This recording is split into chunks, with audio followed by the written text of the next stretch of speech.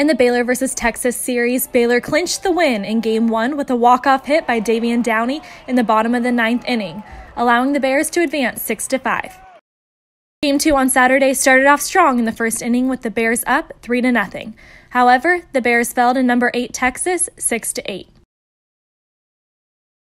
Due to poor weather on Sunday's Game 3 of the series, the game has been canceled.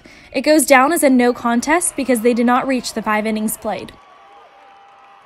The 22nd ranked Baylor Bears are back in action 6:30 p.m. on Tuesday, April 9th at UT Arlington.